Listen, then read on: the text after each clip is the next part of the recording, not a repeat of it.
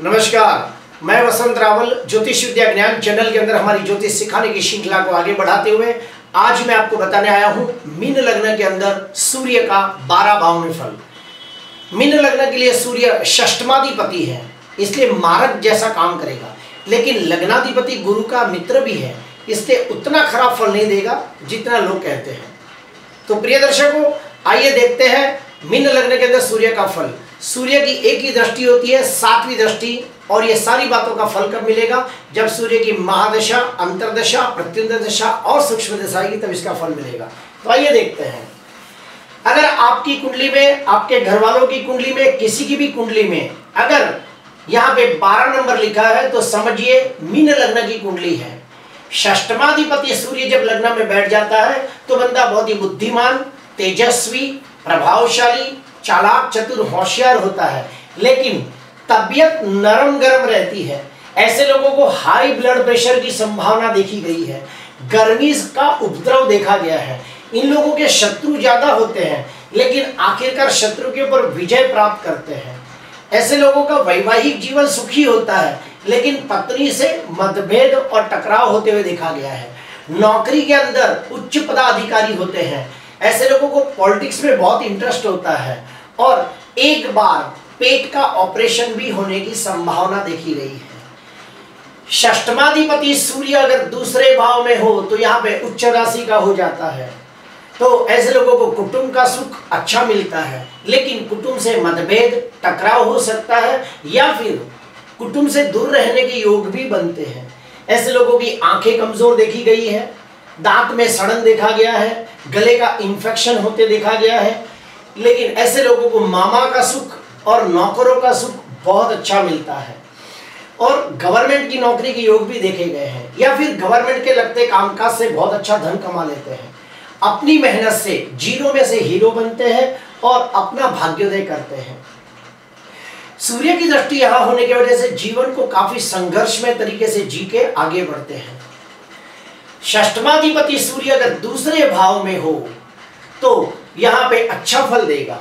बंदा साहसिक होगा, पराक्रमी होगा, मेहनतू होगा, धीरजवान होगा छोटी मोटी मुसाफरी करता रहेगा, नौकरों का सुख अच्छा मिलेगा, मामा का सुख अच्छा मिलेगा, पिता की मिलकत मिल सकती है, छोटे भाई बहनों का सुख अच्छा मिलेगा, तंदुरुस्ती अच्छी रहेगी, व्यापार में सफलता मिलेगी और विपुल धन की प्राप्ति करेगा। समाज के अंदर मान, सम्मान, प्रतिष्ठा, यश, जस, कीर्ति प्राप्त करेगा। सूर्य की दृष्टि यहाँ होने की वजह से धर्म क्षेत्र के अंदर आत्मज्ञान की प्राप्ति हो सकती है और यात्रा करने का शौकीन होता है। षष्टमाधिपति सूर्य अगर चौथे भाव में हो तो यहाँ पे मित्र राशि का हो जाता है। माता का सुख अच्छा रहता है, लेकिन माता की तबियत नरम गरम देखी गई है। वाहन का सुख रहता है, लेकिन ऐसे लोगों को जुना वाहन बिल्कुल नहीं खरीदना चाहिए, वरना वाहन बार बार खराब होता है और काफ़ी सारा धन का खर्चा हो जाता है। ऐसे लोगों को मकान खरीदते समय लीगल काम में बहुत ध्यान देना चाहिए, पेपर वर्क में बहुत ध्यान देना चाहिए, वरना शत्रुता किसी से हो सकती है और प्रॉब्लम क्रिएट हो सकता है। चौथे स्थान में सूर्य हो तो पढ़ाई में रुकावटें आती है, लेकिन आखिरकार डिग्री प्राप्त करते हैं। ऐसे लोग एक अच्छे वकील, एक अच्छे प्राध्यापक और प्रकाशन कार्य में सफलता मिलती है, ईश्वर में श्रद्धा रखने वाले होते हैं, एक पुत्र की संभावना बनती है और ऐसे लोगों की वाणी में काफ़ी वज़न देखा गया है। सूर्य की दृष्टि यहाँ होने की वजह से नीति से व्यापार करके धन कमाते हैं और समाज में मान सम्मान प्रतिष्ठा प्राप्त करते हैं।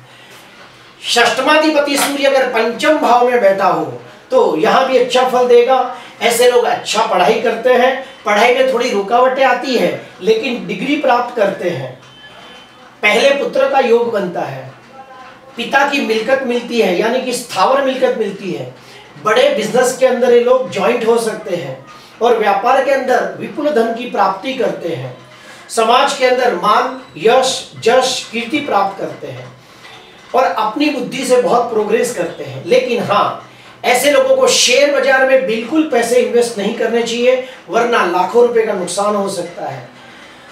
गायत्री माता की पूजा से फ़ायदा होता है, सूर्य की पूजा से फ़ायदा होता है, सूर्य से लगते दान करने से फ़ायदा हो सकता है। सूर्य की दृष्टि यहाँ होने की वजह से बड़े भाई और मित्रों से टकराव हो सकता है।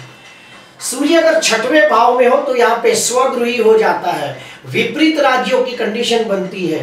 तो ऐसे लोगों को गवर्नमेंट नौकरी के योग बनते हैं। ऐसे लोगों को पॉलिटिक्स के अंदर बहुत सफलता मिलती है। सूर्य की दशा काफ़ी अच्छा फल देती है। ऐसे लोग बहुत ही प्रखर बुद्धिमान, प्रतिभाशाली, प्रभावशाली व्यक्तित्व रखने वाले होते हैं। शत्रु के पर विजय प्राप्त करते हैं। कायदा, कानून, कोर्ट, कचेरी में सफलता मिलती है और व्यापार के अंदर विपुल धन की प्राप्ति करते हैं और मुश्किलों का सामना करते हैं। धन कमाने के लिए विदेश जाने के योग भी बनते हैं। षष्टमाधिपति सूर्य सप्तम भाव में हो तो बिल्कुल अच्छा फल नहीं देगा। ईगो प्रॉब्लम की वजह से पत्नी से मतभेद, टकराव, खिटपिट हो सकता है। कभी कभी तो अगर यहाँ पे शनि भी मिल जाए तो वैवाहिक जीवन दूषित होता है डिवोर्स तक जाना पड़ सकता है, और कायदा कानून कोर्ट कचहरी की मदद भी लेनी पड़ सकती है। पार्टनरशिप बिल्कुल नहीं करनी चाहिए, वरना नुकसानी होने के योग बनते हैं। सूर्य की दृष्टि यहाँ होने की वजह से थोड़ा अभिमानी स्वभाव देखा गया है और समाज के अंदर प्रतिष्ठित लोग होते हैं।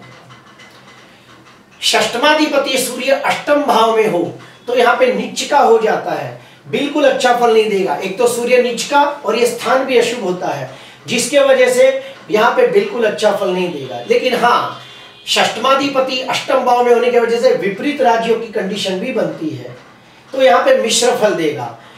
मामा का सुख अच्छा देगा, नौकरों का सुख अच्छा देगा, शत्रुओं के ऊपर विजय प्राप्त करेंगे, बहुत मुश्किलों का सामना करना पड़ेगा और विदेशागमन से लाभ होगा। लेकिन ये सूर्य की दृष्टि यहाँ होने की वजह से आँखें, दांत, गले की प्रॉब्लम हो सकती है, वाणी कठोर हो सकती है और पेट का ऑपरेशन आ सकता है, एक्सीडेंट के योग बनते हैं, विदेश में जाके भी व्यक्ति परेशान हो सकता है। षष्टमाधिपति सूर्य अगर नवम भाव में हो तो यहाँ पे मित्र राशि का हो जाता है। बंदा धार्मिक, विद्वान, ज्ञानी, तीर्थ यात्रा करने वाला और बहुत ही नसीबदार होता है। पैतृक संपत्ति प्राप्त करने के लिए कायदा कानून कोर्ट कचहरी की मदद लेता है और आखिरकार विजय प्राप्त करता है। और विवाह के बाद भाग्योदय होते हुए देखा गया है। ऐसे लोग बहुत ही तेजस्वी और प्रभावशाली होते हैं, एक अच्छे व्यापारी बनते हैं, नीति से धन कमाते हैं और धन का संग्रह करते हैं। छोटे भाई बहनों की ज़िम्मेदारी उठाने वाले लोग होते हैं। षष्टमाधिपति सूर्य अगर दसम भाव में हो तो यहाँ पे दिशा बली हो जाता है। व्यापार के अंदर काफ़ी कंपटीशन लोग करते हैं। व्यापार के अंदर दुश्मनी बढ़ती है, व्यापार के अंदर अचानक नुकसानी हो सकती है, कायदा कानून कोर्ट कचहरी से कष्ट हो सकता है। ऐसे लोगों को इनकम टैक्स सेल टैक्स बरोबर भरना चाहिए, वरना उसका दंड लग सकता है। माता पिता का सुख कम मिलता है, या फिर उनसे मतभेद और टकराव बना रहता है। ऐसे लोगों को स्थावर मिलकत खरीदते समय प्रॉब्लम हो सकता है। और बहुत ही मेहनतू, संतोषी शत्रुजीत होते हैं। बड़ा इन्वेस्टमेंट करते समय बहुत सोच समझ के करे, वरना नुकसान हो सकता है। षष्टमाधिपति सूर्य अगर ग्यारहवें भाव में हो तो नौकरी के अंदर बहुत मेहनत करके धन कमाते हैं, व्यापार के अंदर भी काफ़ी संघर्ष करके धन कमाते हैं, अपनी चतुराई से शत्रु के ऊपर विजय प्राप्त करते हैं और समाज के अंदर मान, सम्मान, प्रतिष्ठा, यश, जस, कीर्ति प्राप्त करते हैं। पढ़ाई के अंदर थोड़ी रुकावटें आती है, लेकिन डिग्री प्राप्त करते हैं। षष्टमाधिपति सूर्य अगर बारहवें भाव में हो तो शत्रु पक्ष बहुत ज़्यादा होता है। ऐसे लोगों को ज़्यादा बातों, बातें करते देखा गया है और हर चीज़ को बढ़ा चढ़ा के बोलने वाले देखे गए हैं। विदेश के अंदर नौकरी के योग बनते हैं। बीमारी के पीछे धन खर्च होता है और कायदा कानून कोर्ट कचहरी से हमेशा बचते रहना चाहिए। सूर्य का प्रोडिक्शन करते समय सूर्य का बलाबल देखना आवश्यक है, सूर्य का षडबल देखना आवश्यक है कि सूर्य का स्थान बल काल बल दिशा बल दृष्टि बल चेष्टा बल कैसा है। प्रिय दर्शकों आज मैंने आपको बताया, मीन लग्न के अंदर सूर्य का बारह भाव में फल। अगर आपको अच्छा लगा हो तो ज़रूर लाइक करना सब्सक्राइब करना। नमस्कार।